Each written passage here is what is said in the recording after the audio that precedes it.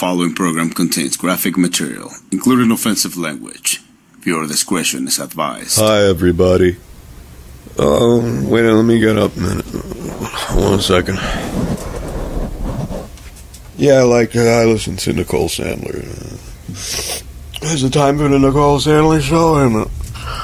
Oh, I forgot to turn the computer on. Let me just walk over here and I'll boot up my computer because I don't want. Oh crap! I just. Never mind. Uh, it's okay. I got another one. Uh, uh, leave it there. The cat will get it. Got a little tune here, a little song to sing for you. That Nicole, she does something. She's really there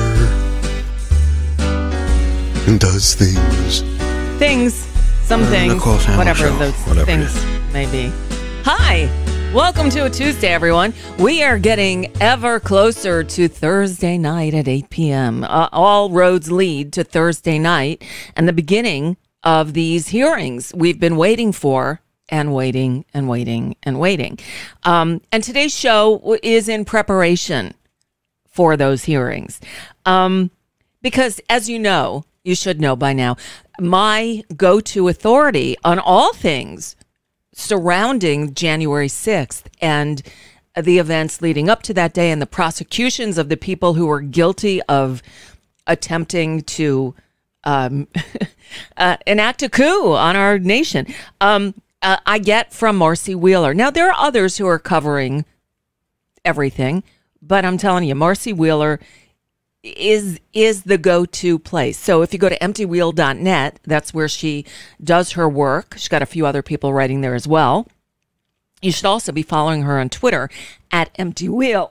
now, last week when we had gotten the word that the Durham investigation, you know, the investigation into the oranges of the Mueller investigation, that what what Trump put uh, this uh, this guy John Durham in charge as a special prosecutor to do an investigation, and so far, I think they brought two cases.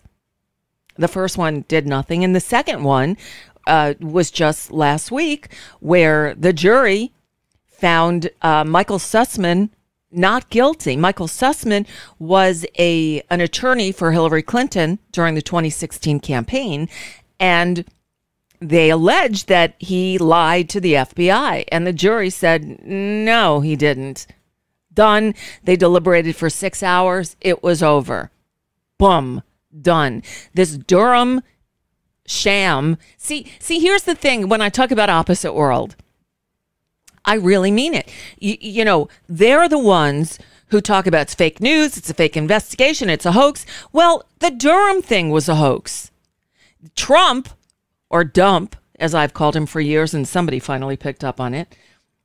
Dump, um, uh, you know, he's the guy who he he talks about fake news when he's the one perpetrating it, right? He talks about this is a hoax when he's the hoax. He's now saying in his latest Nuremberg rally, he said that the whole 1 6 insurrection was a hoax.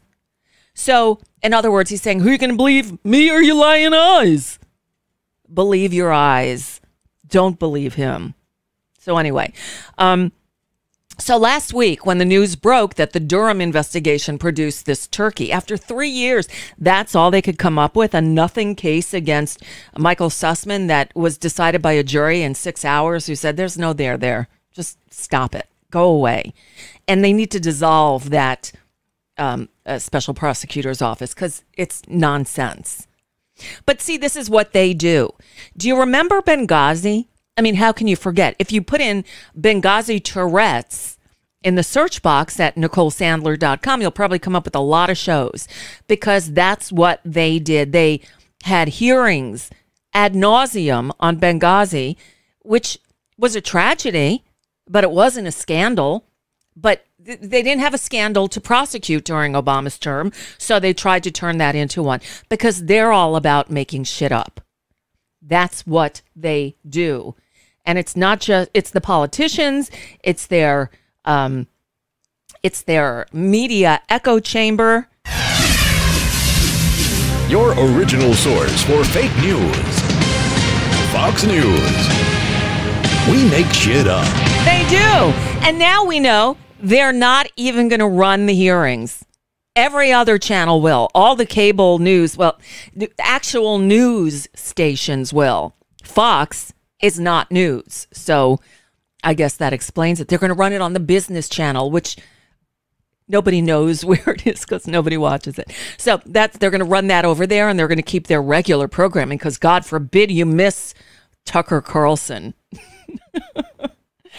oh my God. And I'm laughing, but more people watch that crap than any other real news source. It, it, none of it makes sense. Anyway, so last week, when the news broke, thank you, Michael Belzano, who made a nice donation on in the uh, super chat on YouTube. Always appreciated, like truly appreciated. So, anyway, as I was saying, last week when the news broke that the Durham investigation uh, spit out a case and that you know the jury found him not guilty in six hours and it's over.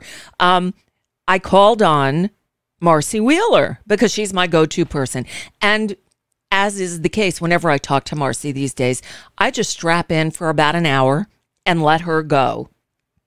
And so I ran it. So that week, it was last Tuesday when this happened, a week ago today.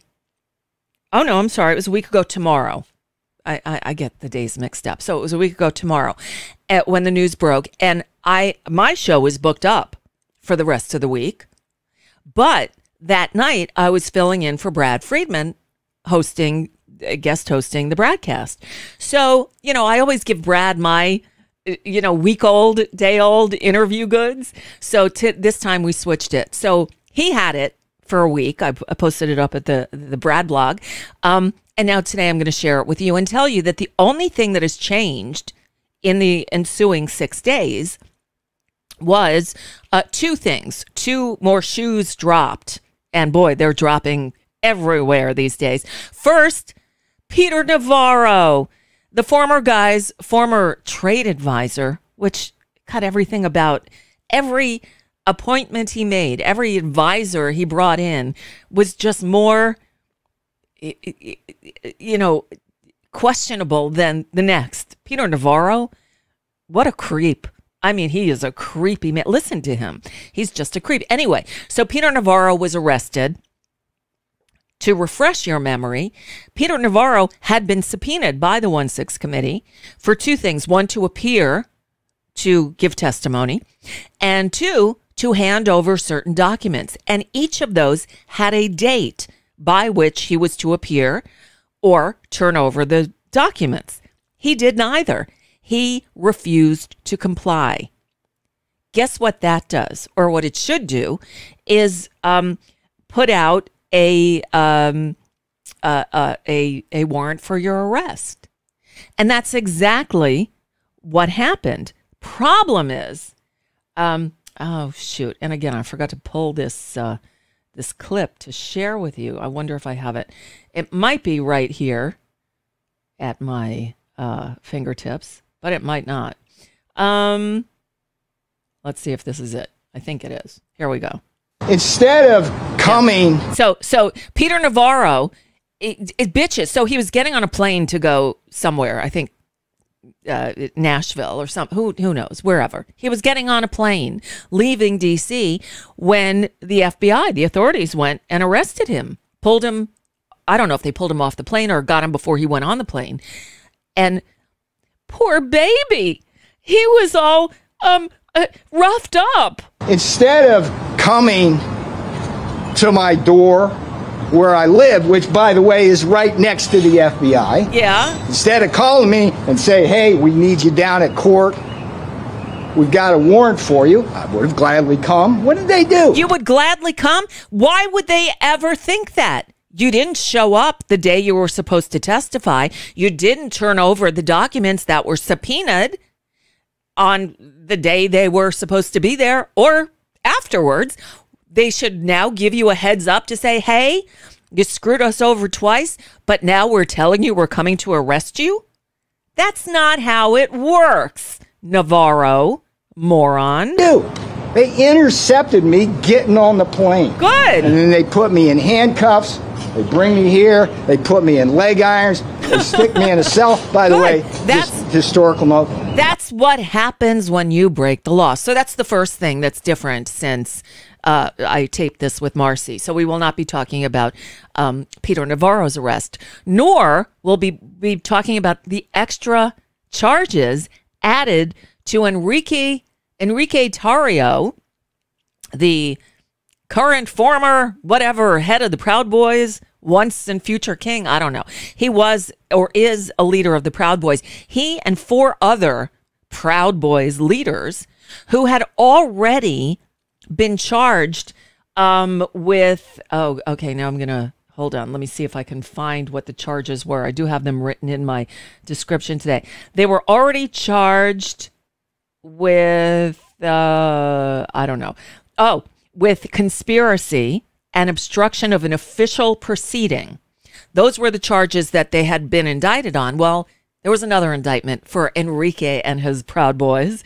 Um, they are now charged with with what's what's the term?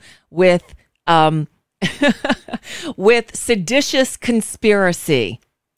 That's you know sedition sedition. Yeah that that is them coming out and saying it. They were planning and plotting to overturn the results of a free and fair election. So those two um oh shit i need to go because now we're going to be late. I've been talking for way too long. So anyway th- those happened since i taped this with marcy wheeler. Everything else um everything else remains the same. So as we like to do around these parts when uh you know we're talking about things surrounding january 6th we call on the expert. In this case we go to ireland. Ireland! At times like this, we need to call on Marcy Wheeler. Uh, so, uh, checking in with Marcy in Ireland. First, to have to ask, how are things over there? things the weather's been really beautiful here so that's all we talk about here normally and it's been sunny and generally not rainy and sunny so it's been great Good. Over here, it's been uh, oppressively hot. So, yeah it's rarely anything a- approximating hot here so really, oh boy, you're getting, uh, you know, a lot of people are looking for places to move to. So, Ireland, I guess. Do you recommend it? um maybe You don't want too many of us coming over there, I'm guessing. no Okay. and it's not going to work for some people so I hear you. Oh, yeah. Some of us are stuck. So, uh. anyway, so um, you know, if you listen to uh, right wing media, there's your first mistake yeah, I know. Well, I don't, but I said if you do, you'd been waiting for um, uh, something from the Durham investigation. Yesterday, we got an outcome for the first and only case brought to trial by this Durham probe after three years of looking. So, um, if you don't mind, can we start from the beginning and explain what John Durham was looking into?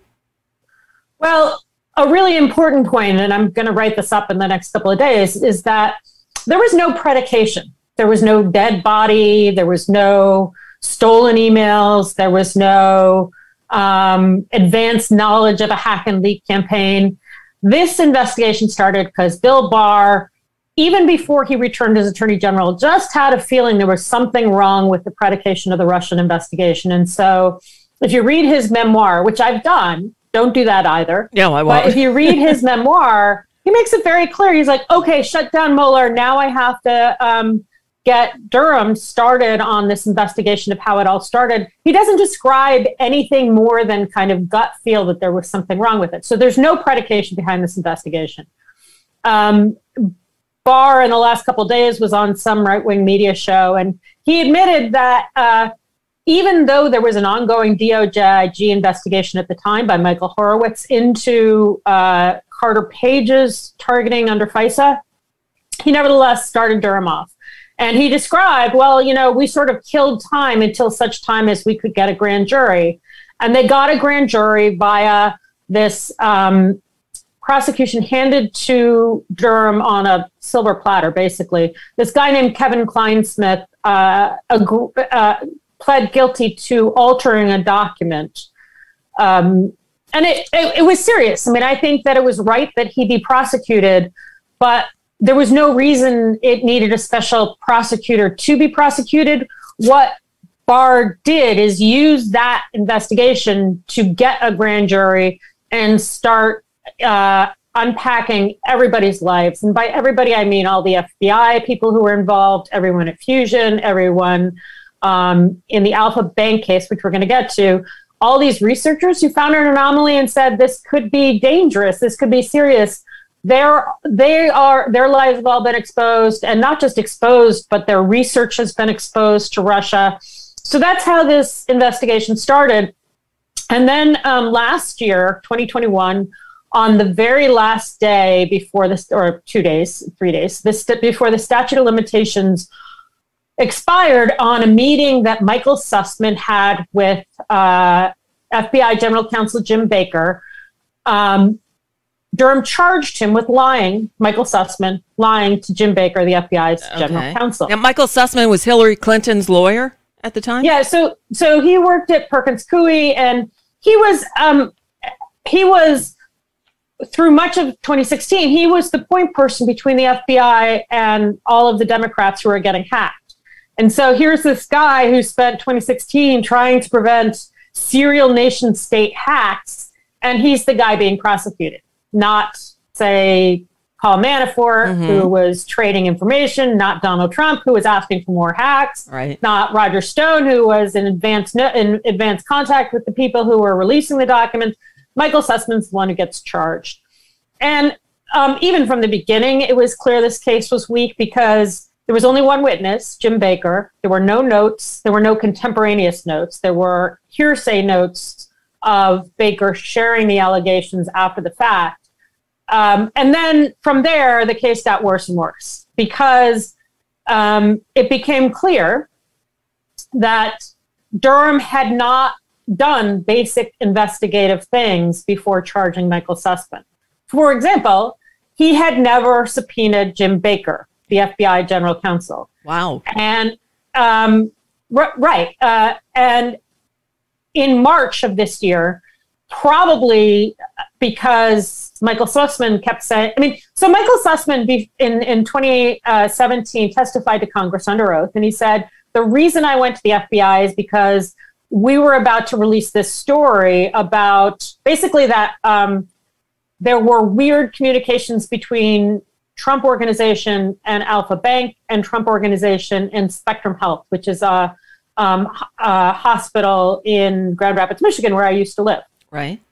And um, and the story Sussman told at the trial was that they had gotten the New York Times to run with the story. It was going to be a great story, putting Trump on his heels.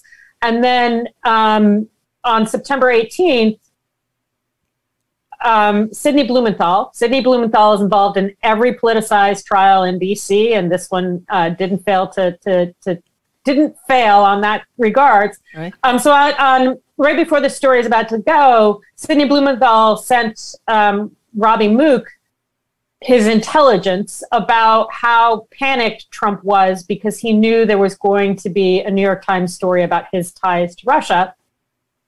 And so, seemingly in response to knowing that Trump was going to blow a gasket, Sussman said, I'm going to go to the FBI and give them a heads up because I want them to have the option of maybe asking the New York Times to hold the story. So he went, he um, he sent Jim Baker a text on the 18th saying, Hey, I've got something sensitive and time sensitive. I'm not doing this on behalf of any client. I'm doing this to help the FBI. Comes in the next day, tells him that the New York Times, he doesn't say the New York Times, he says some outlet is about to break the story. Um, wanted to give you a heads up. And within days, the FBI is like, you know, we'd really like to investigate this before the New York Times reports on it. And so they go back to Sussman and say, can you tell us who's about to publish this story? And Sussman consults with a guy named Rodney Joffe, who's one of the researchers who found these anomalies. And they decide that they're going to share Eric, Lichtblau, Eric Lichtblau's name with the FBI. The FBI kills the story. And then the outcome of this story becomes worse and worse, both for the Democrats and for Eric Lichtblau. So it was the stupidest thing that Michael Sussman could have done to go to the FBI. And that's in fact what Marc Elias, um, the Democrats' chief lawyer, right. and Robbie Mook, who was the campaign manager, that's what they both said on the on the on the stand. They they, they both were like, the FBI going to the FBI is the is the most obvious way to kill this story. And Uh-huh. oh, by the way, we didn't trust the FBI because Jim Comey was stomping all over our campaign. Um, and so, in spite of the fact that it didn't make any sense, Durham decided to charge this. As I said, he never subpoenaed um, Jim Baker. And it appears that he only found that text I told you about, the September 18th text saying, I want to help the FBI um, after Sussman kept saying, "Look, I know there's evidence that we cooperated with the FBI to kill the story. Keep looking, keep looking, keep looking." And Durham never found it. He kept looking, and then finally, like almost six months after he charged Sussman, he's like, "Say, Jim Baker, would you mind looking into your iCloud account to see if there's anything pertaining to Sussman? Just Sussman, by the way, not the other subjects of the investigation." And that's when Durham's case started to fall further and further apart because that text actually hurt his case, bizarrely. Um, he then subsequently found materials that were at DOJIG, which made it clear that by March of 2017, the FBI knew that Sussman had a client. So the, the whole thing just fell apart. And it fell apart because John Durham didn't bother to test the explanation for the meeting that Michael Sussman gave under oath to Congress. Never bothered to test it. And guess what? Michael Sussman was telling the truth to Congress. Told you know there's no evidence he lied to the FBI. And so yesterday, after the after the jury acquitted Michael Sussman, they were like, "This was a waste of our time. There are Right. better things that that DOJ should be doing." So this investigation, as it were, has been going on for over three years. This is the only case Durham's whole investigation brought, and it was a nonsense case. But this is what It's, it's not actually the only one. Oh, There's still one outstanding okay. against a guy named Igor Danchenko, who was Christopher Steele's primary subsource for the dossier. uh-huh. Uh, same kind of thing, though. He is accused of lying to the FBI when he was very cooperatively telling the FBI what he had actually told Christopher Steele, which was different from what Christopher Steele included in his reports. And um, for cooperating with the FBI, Durham decided to charge him to. Uh, in some ways, it's an even more problematic case. Uh, in a lot of ways, it's an even more problematic case. I mean, that case, the Danchenko case, Durham couldn't even competently cut and paste from his own materials. Like if you compare what communications he's actually relying on and what he's charged, they don't match. right. You know that shouldn't that shouldn't have been approved. But anyway, Okay. So that that that one's due to go to trial in October if he can uh, declassify all the information that he needs to share with Igor Danchenko, which he has been having problems doing. But there seems to be a huge disconnect for me in and again, I haven't paid much attention to the Durham story over the last three years because there, uh, from what I could tell, there's not much of a story. Although right wing media again has played it up. But if you listen to, the- you know, what how they were putting all their hopes on this, I told you not to listen to that. I, I know I don't. But but check this out. This is just a 15 second clip. I look forward to Bull Durham's Bull Durham? report. That's the one I look forward to. Okay. You know, what happened to Durham? Where's Durham? And by the way, where's Durham? What happened? Where is he? He disappeared. What did they expect out of Durham? They they, they expected Durham to um, to validate Trump's big lie. Well, this is of a piece of, um, I mean, it's equivalent to um, Trump trying to trump up an investigation of Hunter Biden, Right. right? Um, Trump, like uh, Russian tied oligarchs across the world, like to use a justice system to retaliate against their rivals. Uh, you know, Trump did this in 2016, uh, but her emails, right? Right. Like Trump's entire 2016 campaign was built around criminalizing Hillary Clinton for things that were nowhere near as bad as he was doing in real time.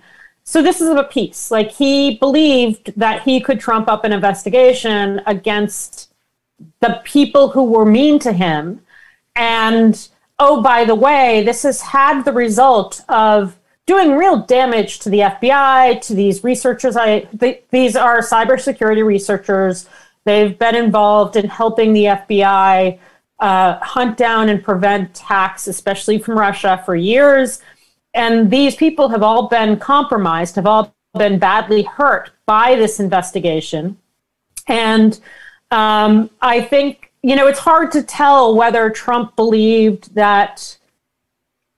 It's hard to tell what Trump believed. It's still to this day hard to believe what Durham's prosecutors believe because they they engaged in such bad faith that it's hard to tell whether they're just corrupt or whether they were embarrassed by the exposure of their incompetence and so tried to brave through the uh, through the prosecution thinking maybe they could convince the jury to to um, convict in any case or whether um, i mean or whether they um, just knew that their goal, or, you know, I mean, one of the things they did, let me give you an example, is that um, I wrote a post about how these prosecutors broke seven rules that Judge Casey Cooper, Christopher Cooper, um, the judge in the case, that he set.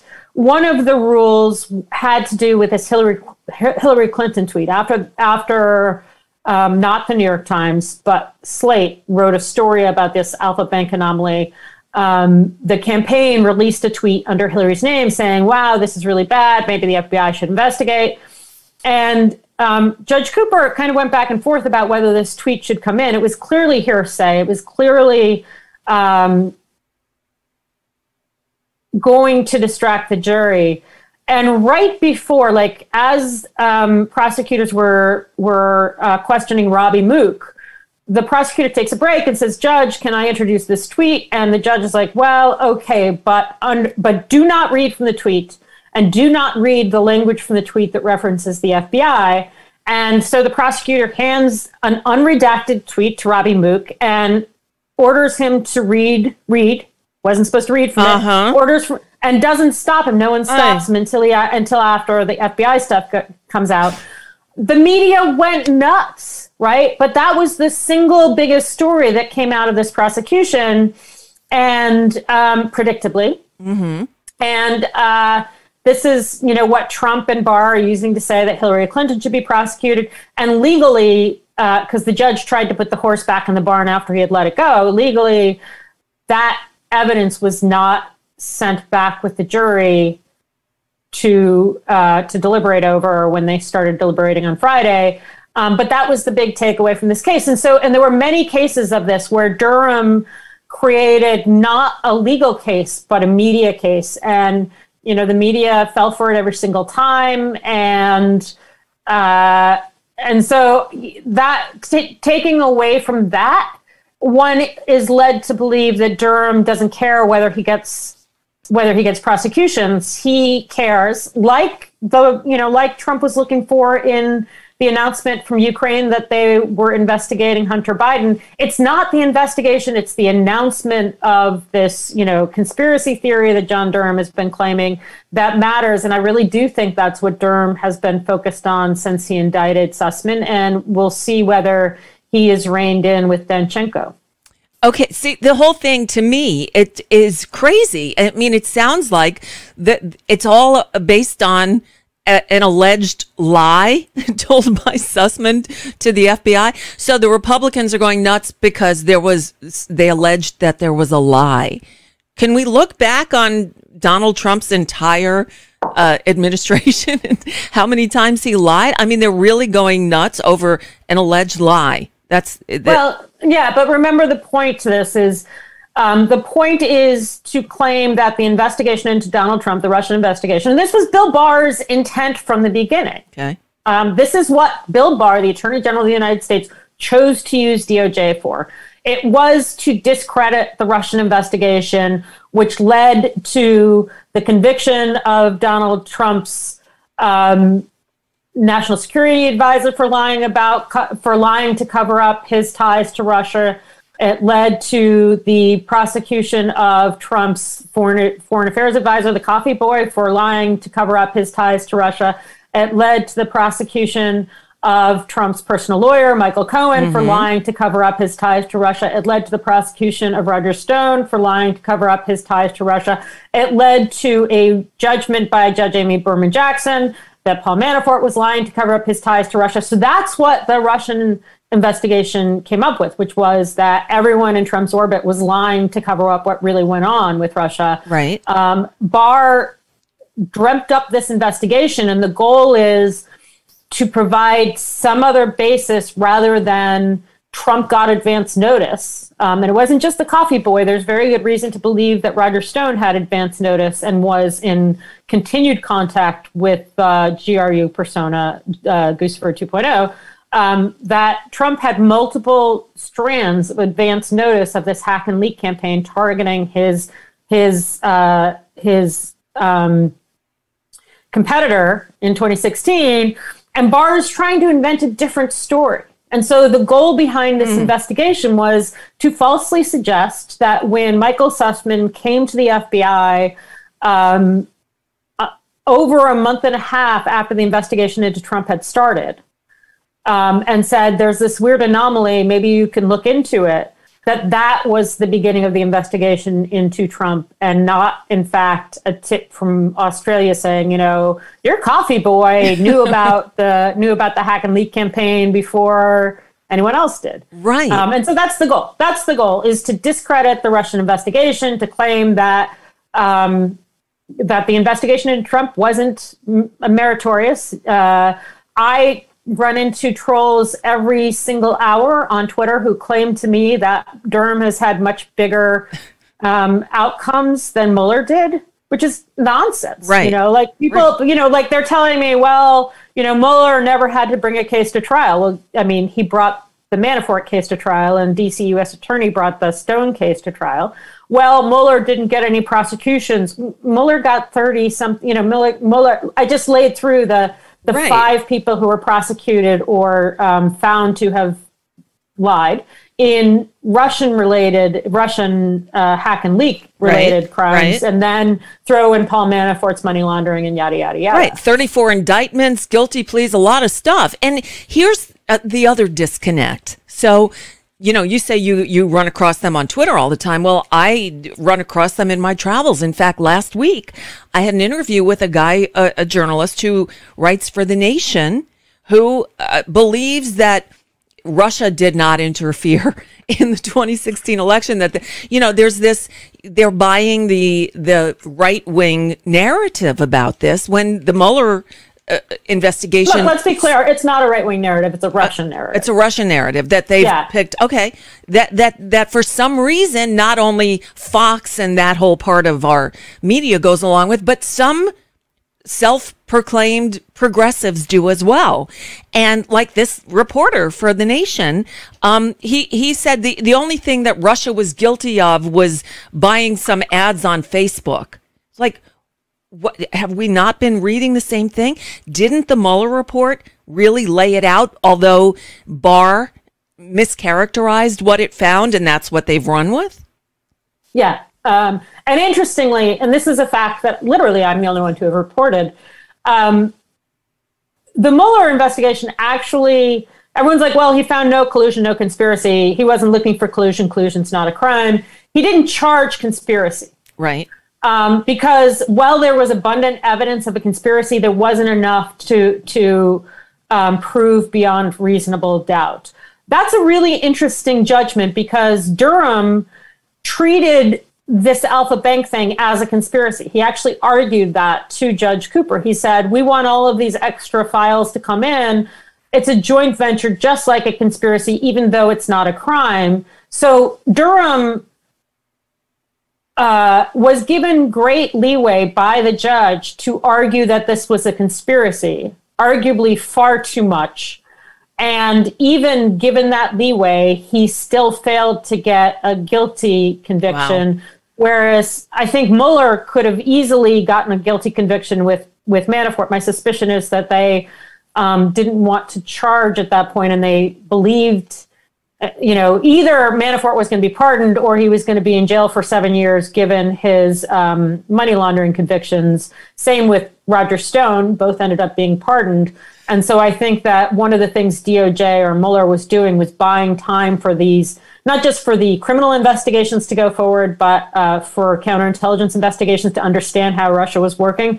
But the important thing is that. Whoops. Yes. Um, Barr Barr claimed that this was a final conclusion, no conspiracy, right? The the actual conclusion, for the most part, was uh, lots of evidence of conspiracy, not enough to charge. But what's interesting is there is a footnote in the Mueller report that was not declassified until literally the night before the 2020 election. Okay. That said, uh, we haven't charged Stone in a hacking conspiracy with Russia because we still have outstanding questions. And we have referred those questions, multiple, to DC US Attorney's Office. So, in other words, when Mueller finished up in March of 2019, um, they were still investigating Roger Stone in a hacking conspiracy with Russia. Wow. And they used his prosecution to advance that investigation to, to get people to, to um, testify without them believing that they were testifying. So, in other words, that investigation went through at least April 2020 when Bill Barr killed the Roger Stone prosecution. Um, and ultimately, the facts show that Bill Barr halted an ongoing investigation into whether Roger Stone conspired with Russia. It was not a conclude. It was not a conclusion. It was still ongoing when Barr took over, and um, by all appearances, he killed that investigation into Roger Stone. All right, now I'm going to segue a little bit because there are news reports out this week that all of a sudden the DOJ is ramping up its investigation and prosecutions. Um, you've been saying all along that Merrick Garland is working on this.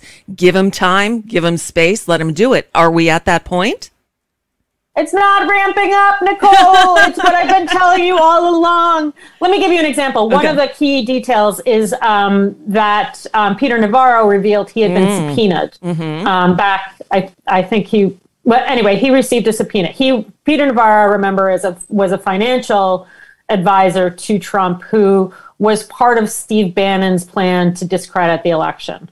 And um, he wrote a book claiming that the plan was just to get members of Congress to discredit the election, not to start a riot. He claims the riot was not what he intended. Right. And um, the January 6th committee subpoenaed him, like they subpoenaed Bannon. Right. And uh, both men refused to cooperate in Bannon's case, it was ridiculous because he, you know, he was claiming executive privilege, but he wasn't a member of the administration. In Navarro's case, he was claiming executive privilege, which he had more basis for, except he had written a book.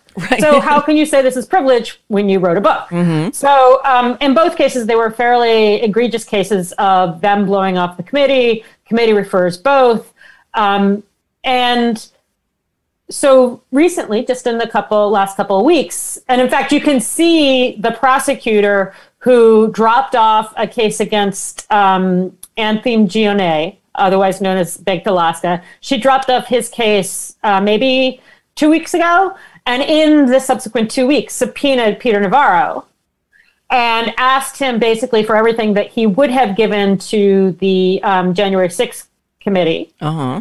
Um, and it's a real subpoena you know it's not like now doj is going to come after him. And and this is one of the bases that everyone's saying oh lots of progress lots of progress. And the reason this is not new is because doj did very similar things with steve bannon when that when that when he was referred for contempt to doj uh, back in November, and what they what they did in November was subpoena the call records for the attorney he shares with Rudy Giuliani. Okay. And they got those call records, call and email records, not the content, but who have you been contacting. They got those um, materials going back to March 3rd of 2021. So well before Bannon was subpoenaed by the committee and well before the committee even existed, they wanted the communications between um, Bannon's lawyer, the one he shares with Rudy Giuliani, and uh, Trump's people.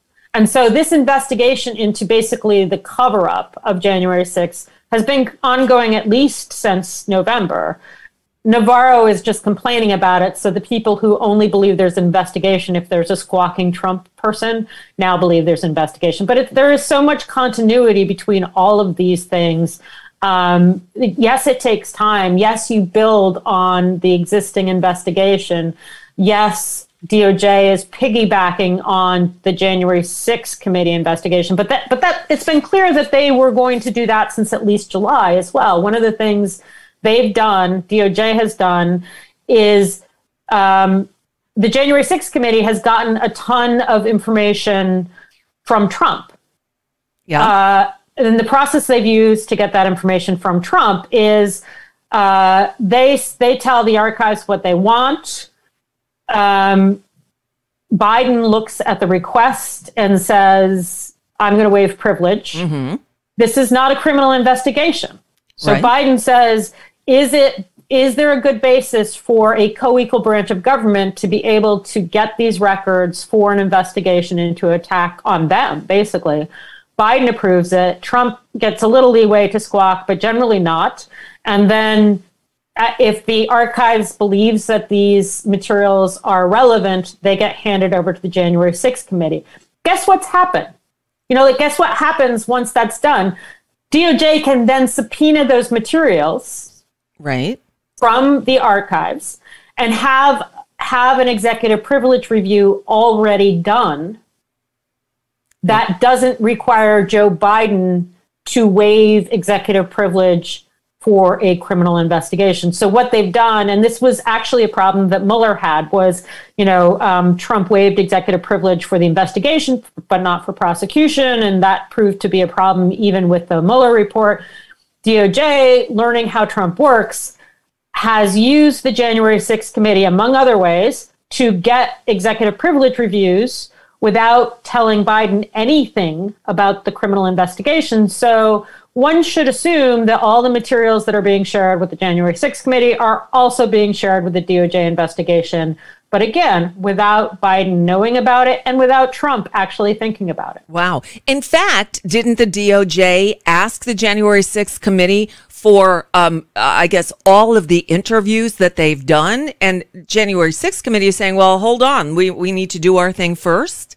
Is Yeah, and um, and and January 6th committee is right to do that, and they're probably having a discussion about specific transcripts right now. Just as one example, when Ali Alexander went in to testify, I think he testified for eight, seven hours, six or seven hours. He remember was the organizer for Stop the Steal. He's Yep. got clo- very, I mean, he's a mentor, mentee of Roger Stone.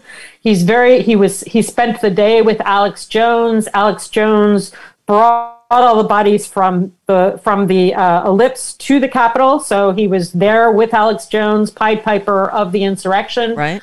Um, and Ali Alexander, before he testified to the January 6th committee, said, Here's what I'm going to say. This is what they do. These criminals always say, Here's what I'm going to testify to so they can compare stories. Um, and this was a replay of what Roger Stone did with HPSCI in 2017 with the Russian investigation. Didn't work then. He was prosecuted. Nevertheless, Ali Alexander signed up to do the same dumb thing uh, that Roger Stone had done, involving one of the same lawyers that Roger Stone had used. And he, and the story he said that he was going to tell is a story that Owen Schroyer, who is basically you you apparently listen to way too much right wing media. Um, Owen don't. Schroyer is basically Alex Jones Jr. Oh, okay. and uh, Owen Schroyer was arrested in August in this investigation, um, basically because he had a special prohibition against being a loud jerk at the Capitol. Do you like how I didn't say a bad word? I there? do. I, did- do. I appreciate it. um, and so he ended up being a loud jerk on January 6th, and that was a that was a crime, especially for him. So he was arrested. He's being prosecuted, and the same story that Ali Alexander told in I think December to the January 6th committee, um, Schroyer started telling before that to DOJ, and a Trump-appointed judge, Tim Kelly, already heard that story and said, "Nah, no, that's wrong. That's that doesn't make any sense." And so Ali Alexander told that story. Now he's he's stuck telling that story, and um, and there's very good reason to believe that DOJ has some communications with Ali Alexander with some of the other people involved because they got them way back in January, March January and March of 2021. I mean, these are the steps that DOJ took a long time ago that are coming to fruition as they're moving towards people like Ali Alexander. Um, and so we should believe that Ali Alexander's story is not consistent with the facts that are in DOJ's possession and that DOJ knows that. And so that's a transcript that I suspect that they would like to have. Oh, without a doubt. Marcy Wheeler is with us. She's been covering this story like nobody else at emptywheel.net. It should be part of your daily reading if it isn't already. So next week, the public hearings begin. We've been waiting for a long time for this. Do you um, uh, have any any um, ideas about what we're going to see? I mean, they haven't released the witness yet, list yet. I believe there's only two nights of prime time uh, the, at, at the bookending the week, I guess, of testimony. I think it's just six days of testimony. Um, and during the, in the middle, it'll all be during daytime hours. Um, but that's about all I know. Do you know any more? Um, do I know any more? I can intuit more, which is that the one of the big storylines that you're going to come out with um, one of the big storylines that you're going to come out with is that Trump did absolutely nothing to stop an attack on the Capitol. Mm-hmm. Um, that he cheered as his vice president was being targeted, mm-hmm. and that he set up his vice president to be targeted. Uh, so the storyline I expect that that the January 6th committee will tell is that um, Trump riled up a mob with his false claims about election theft he brought them to DC. He riled them up to assault the Capitol with his speech on January 6th. And then once they started assaulting the Capitol, and this was all done to pressure Mike Pence to basically overturn democracy. Right. And um, and when Mike Pence refused to overturn democracy, uh, Trump basically um, threatened him with assassination. He right. used the mob to threaten him with assassination, did nothing to stop it, did nothing to stop the attack on the Capitol, and cheered uh, the violence targeting Mike Pence. Um, and you'll have videos of the testimony from Trump's own children making that clear, right. making it clear that they begged him to try and intervene, and they refused. First, the Phil son, and then even Ivanka. Um, so that's the that's the story you're going to hear, and that story is basically going to lay out what um, the lawsuit against Trump, the Thompson, the the Bennie Thompson lawsuit against Trump lays out, which is that Trump conspired with at least the militias mm-hmm. to attack the Capitol.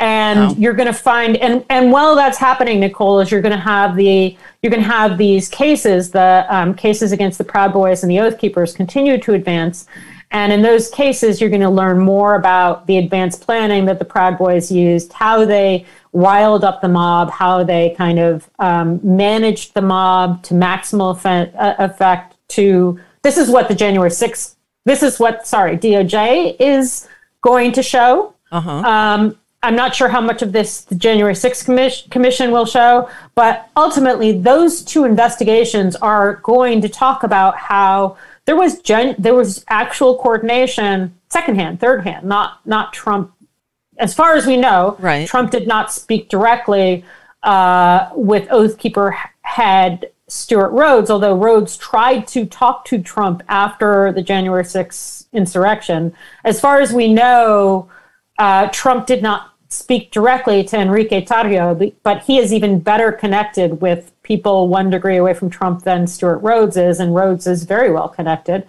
Um, but through a network of people, there was genuine coordination going on on the attack on the Capitol.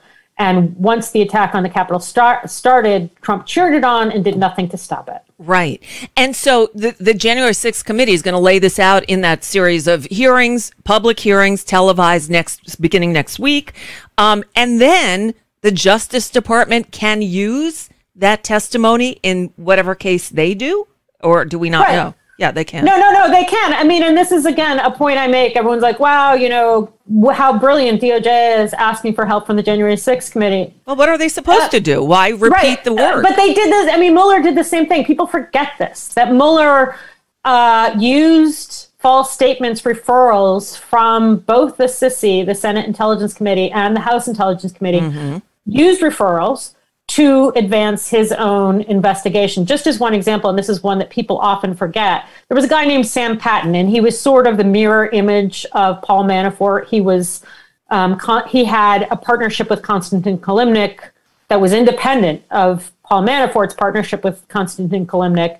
Konstantin Kilimnik, of course, uh, the government is pretty explicit, is a Russian spy. Mm-hmm. So these two men had ties to this Russian spy. Um, Sam Patten actually worked on Cambridge Analytica with Konstantin Kilimnik. And um, Sam Patten to the Senate Intelligence Committee in early 2018 lied about being a straw donor for uh, inauguration tickets for one of the Ukrainians that he had been working with. Okay. So in other words, uh, he told this he told SSCI, you know, um, no, no, I didn't buy these tickets for this uh, Russian-backed Ukrainian oligarch.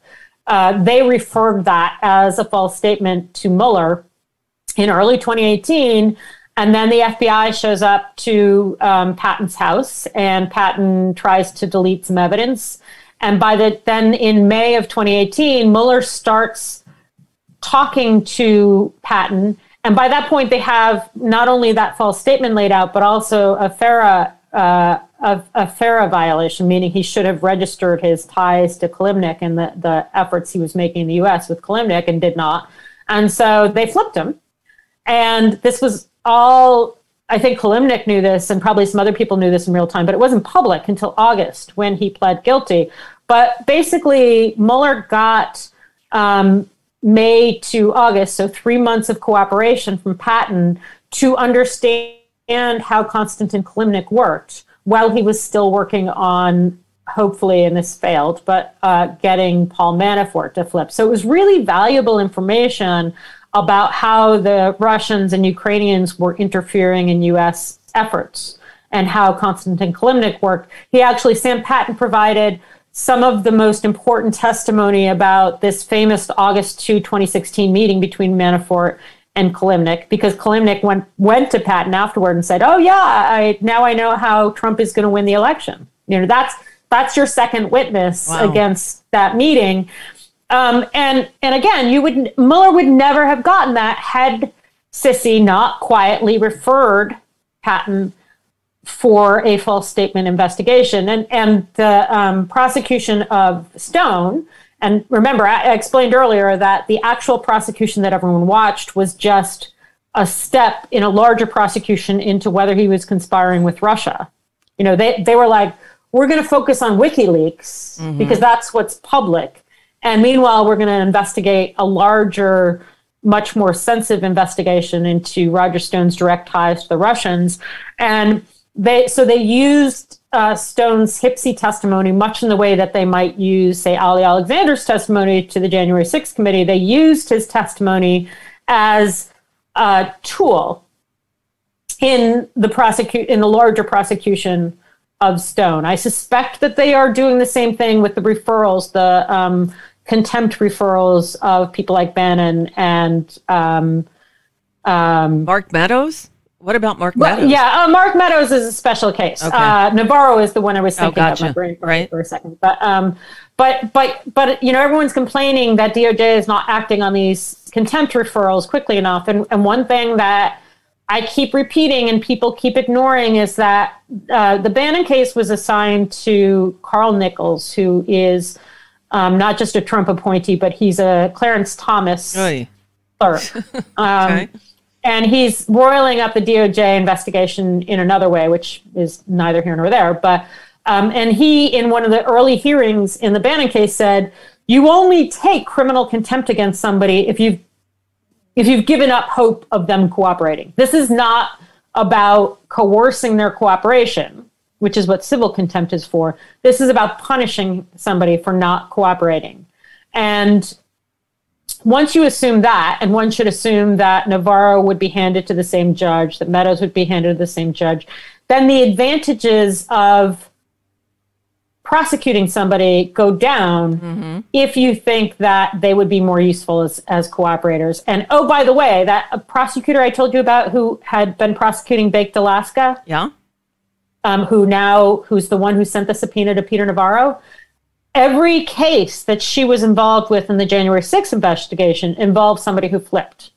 Oh. And in one case, people that they're trying to flip a second level. So uh, she seems to have a particular focus, a particular skill set on getting cooperating witnesses. She's the one who subpoenaed Peter Navarro. And, and you have to ask yourself, I mean, with Meadows, again, he's a separate case because he's got a whole lot of criminal liability that um, Navarro may not have. Right. Um, but with with all of these people, would you rather flip them, or would you rather them serve a month in jail? Right. No, we want to flip them. That makes more sense. So we get useful information out of them, and a month isn't going to do anything. Right. So that's what I think is going on, and I think that.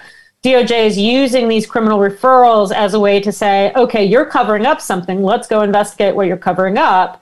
And then once we've shown that you, um, I mean, uh, okay, now that you asked about Meadows, let me go to Meadows. Okay. Meadows, um, there's that report recently that um, he is known to have burned documents in his White House fireplace. Right. Meadows replaced his phone. He was doing a lot of White House business on his on his personal phone and on his personal email account. He did not at first send those documents to the archives to be archived. Uh, after such time as he had to have known there was a grand jury investigation, he replaced his phone, thereby destroying evidence that would have been covered by the Presidential Records Act.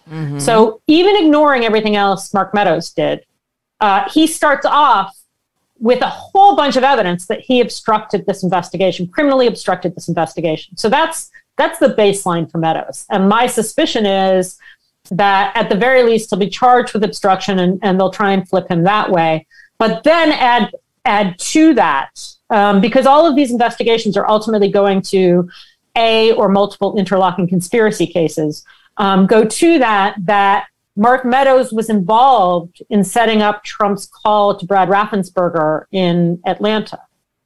Okay. Mark Meadows was Wow. involved in setting up the fake elector scheme involving seven swing states. Ooh. Mark Meadows was involved in um, getting and working with members of Congress who um, kind of cheered the uh, insurrection as it happened. Mark Meadows was involved in some communications with people who were part of the insurrection.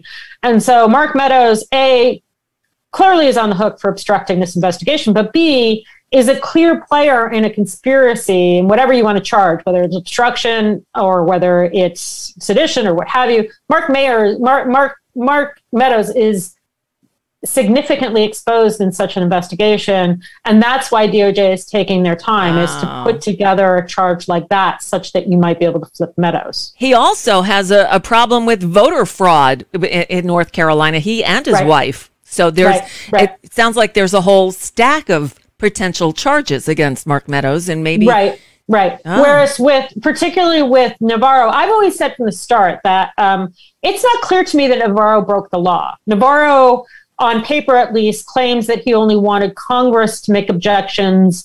Uh, I think Navarro may be insulated from the direct ties to the insurrectionists that both Roger Stone and Rudy Giuliani and probably my uh, probably um, Mike Flynn and you know probably Steve Bannon, they all likely have ties to people who were orchestrating the insurrection. Navarro probably doesn't. Right. So Navarro's not tied to the attack on the Capitol directly. He's tied to the efforts to stall the congressional vote.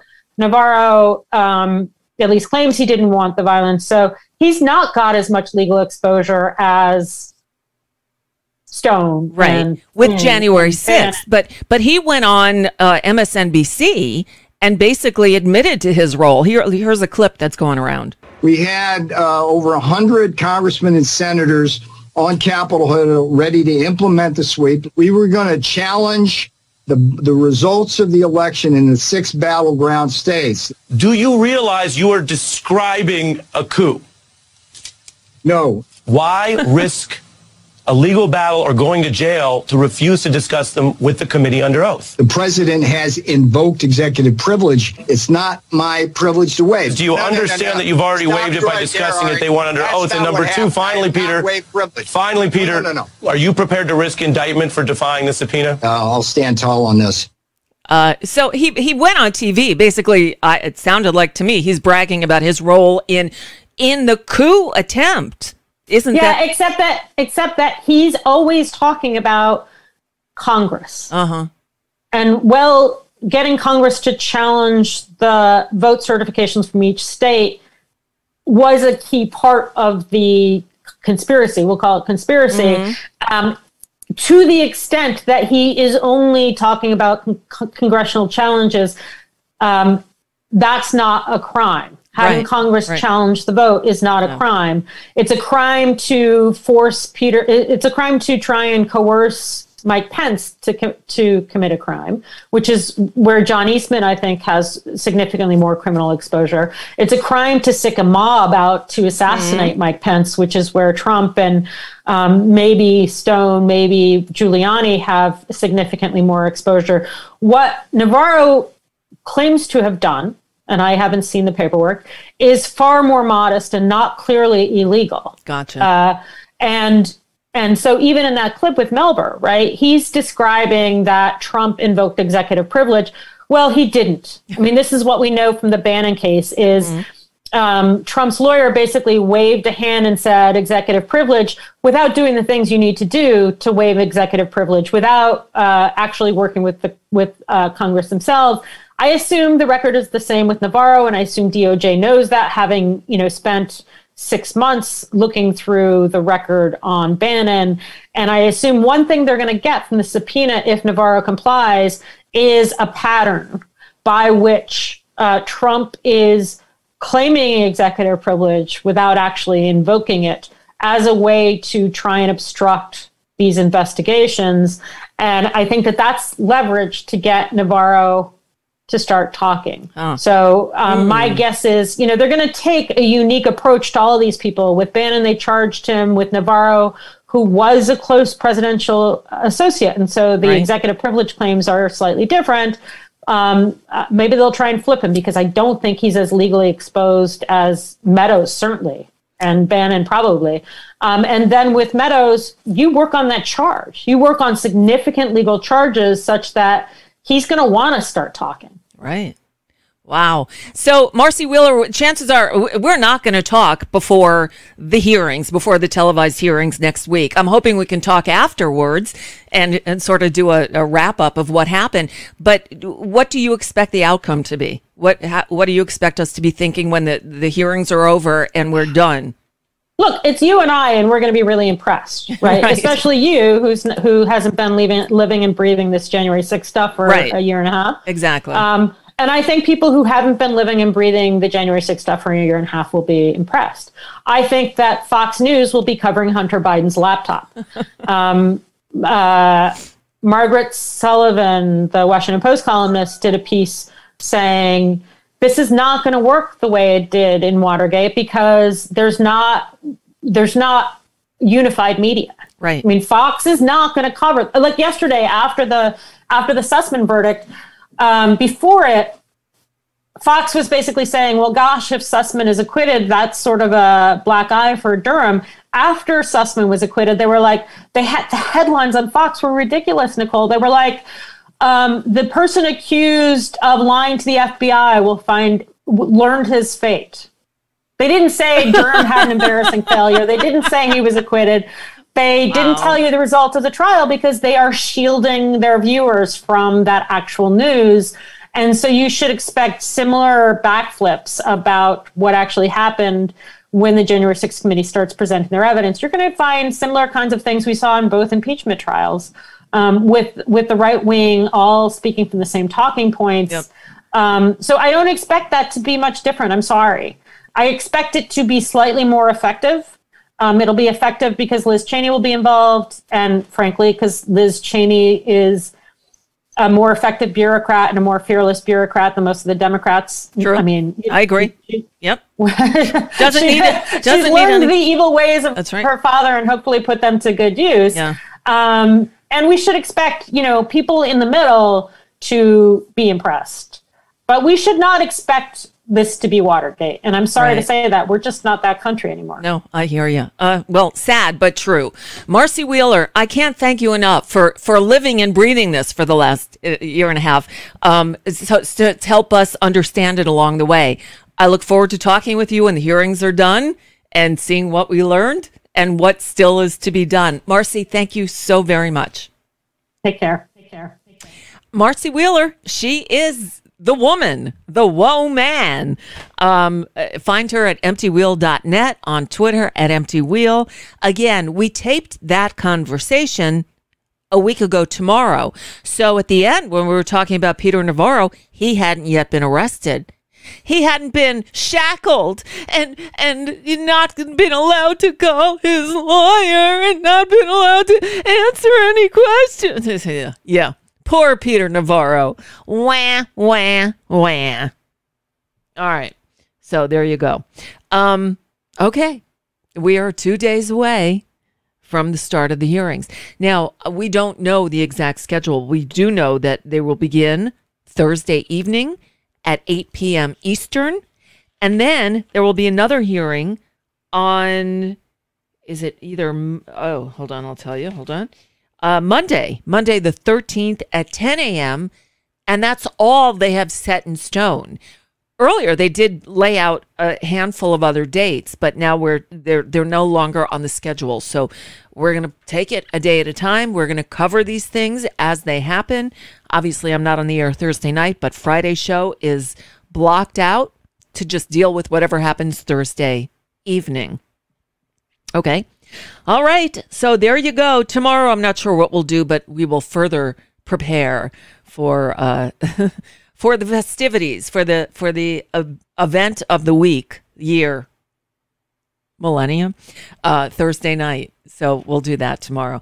Um, thanks for listening, everyone. As usual, I'll leave you with the news. And for the people in the chat room who asked, while the news is playing, I'm going to show, uh, if you're watching on video, a few of my newest uh, artistic creations. So we'll do that. All right. Uh, here's the news. I'll see you tomorrow. Thank you for listening, everyone. And thanks for all the super chat donations in the YouTube chat room. Appreciate it more than you know. Bye. It's time for Nicole Sandler's What's News from NicoleSandler.com and the Progressive Voices Network. As we inch ever closer to the public hearing portion of the House Select Committee's investigation into the events surrounding January 6th, more proverbial shoes keep dropping. The latest, the Justice Department on Monday charged the head of the Proud Boys, Enrique Tarrio, and four others with seditious conspiracy stemming from their involvement in the January 6th attack on the Capitol. They are the first allegations by prosecutors that the Proud Boys tried to oppose by force the presidential transfer of power. While we're waiting, it's time to vote. Well, if you're in one of the seven states whose primary is today, those are California, Iowa, Mississippi, Montana, New Jersey, New Mexico, and South Dakota. Of course, the big ticket is California. Few big races to watch, like the Los Angeles mayoral election. Although there are lots of names on the ballot, it's really coming down to a choice between two. Karen Bass, one time chair of the Congressional Black Caucus and an incumbent congressperson representing the Culver City area of Los Angeles, she is still the front runner in the race, but coming up quickly is billionaire Rick Caruso, who until this campaign was a Republican, who's already dumped more than $34 million of his own money into the campaign and will likely keep Karen Bass to under 50%, which would force them into a runoff in November. Other big races under the spotlight California's 40th District open primary to see if an even further right Trumper can defeat the incumbent in a primary. Democrats figuring they have an easier time to beat the challenger Greg Raths than the incumbent Young Kim, but who knows? And then in California's 27th, it's another open primary in a district that Biden won by more than 10 points, but the incumbent Garcia has already beaten candidate Christy Smith twice. In Montana, former Congressman Ryan Zinke, who left the House in 2017 to become Trump's scandal plagued Interior Secretary, is running to go back to Congress. And a few other races are under scrutiny today. Meanwhile, two losing Democratic primary candidates in key Texas swing districts have said they will ask for recounts in their very close runoffs.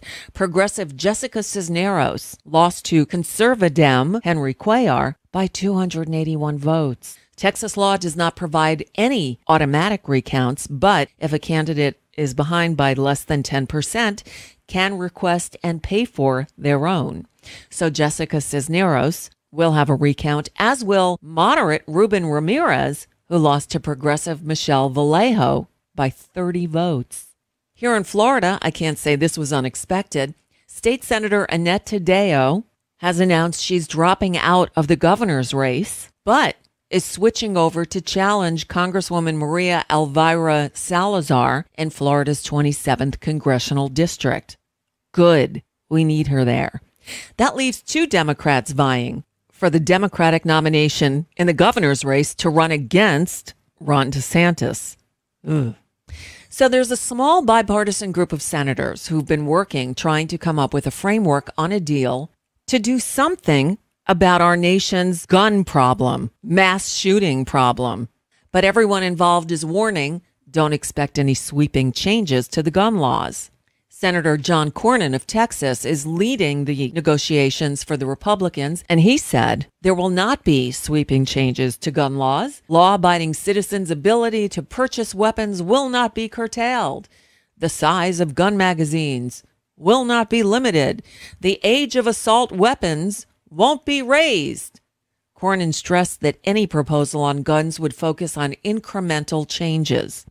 Senator Chris Murphy of Connecticut, home of Newtown, is leading the negotiations for the Democrats. And he says they're talking about a modest package of proposals encompassing mental health resources, school safety mechanisms, enhanced background checks, and state incentives for red flag laws. I can't help myself. Not good enough. Just saying. Meanwhile, police in Philadelphia have arrested a 34 year old man in connection with a mass shooting that left three people dead and 11 wounded on Saturday night in the city's South Street district. The man, whose name I will not say, has been charged with attempted murder, aggravated assault, simple assault, recklessly endangering another person, and other charges. An 18 year old was previously arrested and charged with aggravated assault and assault on law enforcement officers.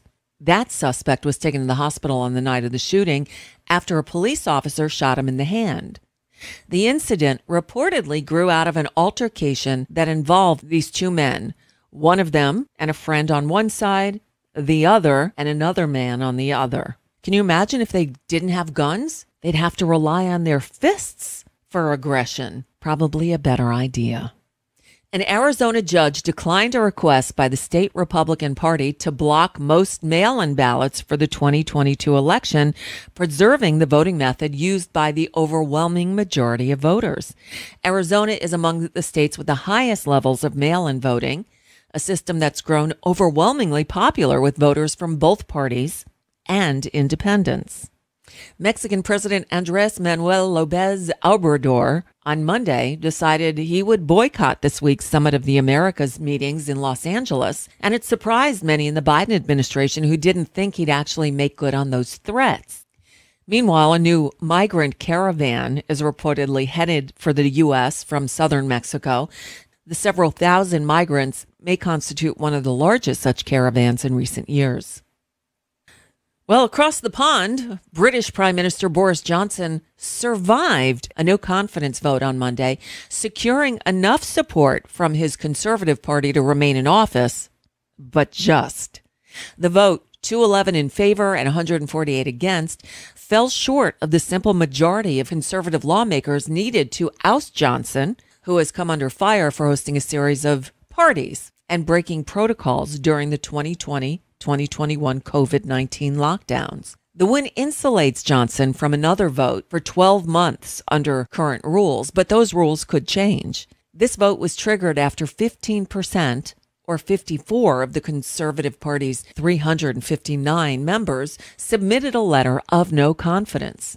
Votes of no confidence allow for the removal of a prime minister deemed unfit to serve. Johnson's future is at best tenuous. But people in the UK might be a little happier. Thousands of UK workers will receive 100% of their pay for working just four days a week. It's the largest trial of its kind in the world, a pilot program that'll last for six months and involve 3,300 employees from 70 companies, ranging from financial services providers to a fish and chip restaurant. The program is being run by a think tank in partnership with researchers from Cambridge, Oxford, and Boston College. Four day work week? I could get behind that. And that's just a bit of what's news for now. I'm Nicole Sandler. If you appreciate these reports and the Nicole Sandler Show, I hope you'll consider making a contribution. My work is 100% listener supported, and I can't do it without your help. Find out more at NicoleSandler.com, and please click on that donate button.